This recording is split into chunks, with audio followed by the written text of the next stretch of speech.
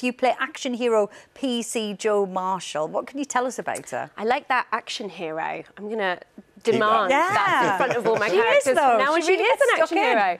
So she, so Jo is a police officer and a very good one, and uh, she's grown up in this community and she really cares about it. And she's the kind of person that will just throw herself in. I think she doesn't have that filter of self-preservation, and that's what you see at the opening of the episode. She kind of just jumps straight in, literally, to the flood to save this baby, and then this mystery starts to unfold, and she just can't help herself but kind of pull at the tiger's tail. You know, she gets an inkling and she just has to follow it with sort of bad, sort of uh, bad consequences. Mm. You know, like being in, in, in the position as police officer and it being kind of around the floods and everything, I'm guessing like everything you have to do has to be kind of like legit. Somebody watching it has to go, well, that's how you would act in that type of situation. Did you have flood training?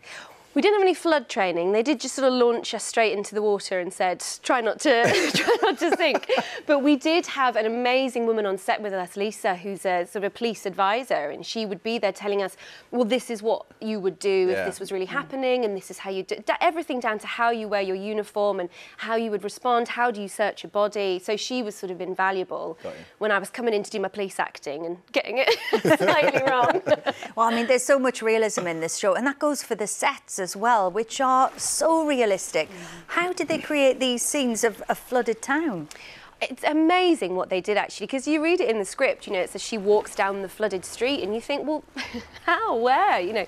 So they were incredible. They built essentially a really big paddling pool I'm sure it was called something more technical than that. So these aren't houses; those aren't real houses. This is all the fake fronts. So it was this huge tank in a car park, mm. um, and then they built the facades of the houses. And but they went to so much detail. There were shops, you know, and there were sort of items in the street. There were cars turned over, and then they filled it with water, and then they just nice, nice and warm. The water, I'm guessing. Though, it yeah. was not warm at all. it was not warm, and I think it was March when we were doing it. Mm. And the way that it was built, it sort of became this wind tunnel. So it was uh, it was freezing cold. We did have one quite nice balmy day where our DP came along with the camera in a little rowboat and he looked to be having quite a nice I time. I bet he was nice, yeah. Um, now, away from the floods, there is a murder to solve.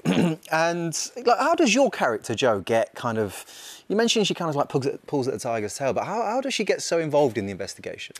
So, so Jo is pregnant. We know that quite early on in the series, and she kind of, I think anyone that's been pregnant will relate to that feeling of the sand time has been turned over, and there's this date on the horizon, and she's desperate to start her detective's training, and I think she just thinks if I can prove myself. I've got a hunch if I can just solve this, if I can prove myself, I can go away and have my baby and come back and be taken seriously. So there's this kind of slightly reckless, relentless energy to her. And again, she doesn't have that filter. So where most of us would go, oh, no, no, no, mm. oh, stop there, don't, don't, you know, turn over that rock. She doesn't have that. So she just steams through. It's what makes her quite an unusual protagonist yeah. in that way. She is. She's so interesting to watch. And you've got the fantastic chemistry with your on-screen husband, which is probably not surprising, as he's played by your real-life partner. Matt, what was it like working together? Well, I always say you probably have to ask Matt. I mean, I had a lovely time, but I don't know. It was, it's a strange one to, to, you know, play opposite your partner, but lovely because often, you know, you, you do these jobs and you go into the makeup trailer in the morning and you say, hi, I'm Sophie, I'm your wife. And you've got, you know, an hour to kind of build up some rapport with someone. So whether it's your partner or a friend or someone you've worked with, it's nice when there's history there. Was but, it fun doing the on-screen marital discord? Because there's a bit of bickering. There is. and actually, he did tell me off. He said that one day we had this huge fight scene and we got back home and normally we just leave it all there, but apparently I was slamming cupboard doors and I was in a bit of a huff and he said, you know, we didn't have a row today. You know, yeah, yeah, that could spill over. I was like, I think I am annoyed at you about that. but mainly, it was great, you know. and, and just